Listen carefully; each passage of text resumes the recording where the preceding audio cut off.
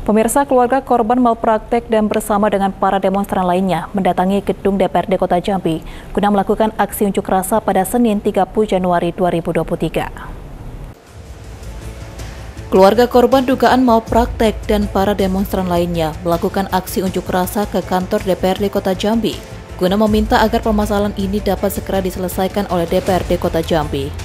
Penanganan Rumah Sakit Arafah Dugaan malpraktek yang dilakukan oleh pihak Rumah Sakit Arafah ini terjadi pada Sabtu 21 Januari 2023. Ini sudah sekarang, sudah sekarang baru mau ini. Inilah penanganan Arafah.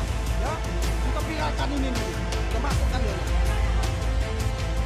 Ya. Yani, selaku tante dari keluarga korban R mengatakan bahwa saat ini keluarga masih dalam keadaan berkabung atas meninggalnya korban R tersebut.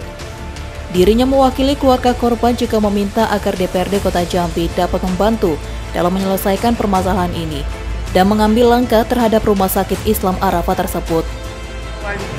Pasiennya nggak usah diterima, silakan lemparkan ke rumah sakit yang lain, itu aja.